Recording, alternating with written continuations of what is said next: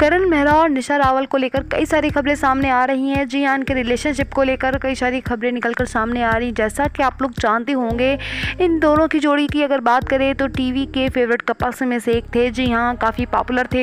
बात करें तो इन दोनों की जोड़ी को फैंस काफ़ी ज़्यादा पसंद करते थे। जी हाँ अगर इनके लव की बात करें तो इनकी शुरुआत हुई थी प्यार की हँसते हँसते फ़िल्म के सेट से। जी हाँ जहाँ पर निशा रावल काफ़ी अहम भूमिका निभा रही थी तो वहीं मेहर यानी कि करण मेहरा एक फ़ैशन डिज़ाइनर के तौर पर काम कर रहे थे।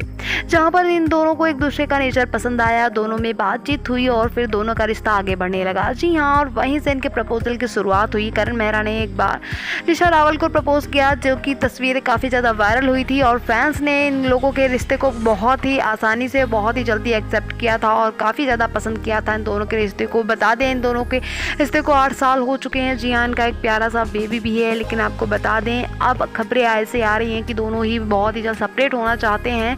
इस बात में कितनी सच्चाई है, वो तो आप लोग जानते ही होंगे। जी हाँ पर सबसे अहम सवाल ये है, आखिर वजह क्या रही? है जी हाँ कई सारी खबरें सामने निकल कर आ रही हैं, आपको बता दें।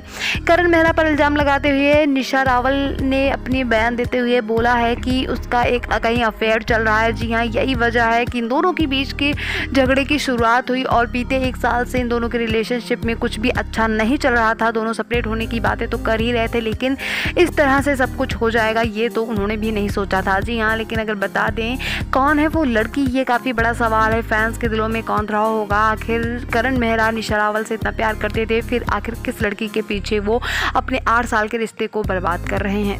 लेकिन उससे भी पहले बता दें, आपको निशा रावल इसके बाद भी, इन सब बातों के बाद भी वो अपने रिश्ते पर काम करना चाहती थी। जी हाँ उन्होंने अपने बयान में ये बोला है कि अगर वो करण मेहरा अपनी तरफ़ से पहल करते हुए इस रिश्ते को अगर बचाना चाहते हैं तो मैं भी एक बार ज़रूर सोचूँगी। इस तरीके के बयान देते हुए उन्होंने बोला कि मैं अपने घर चली गई थी जहाँ पर इस तरह की बातें हो रही थी, लेकिन करण अब नहीं चाहता है, कुछ भी यही वजह है कि वो अब करण से अलग होना चाहती हैं।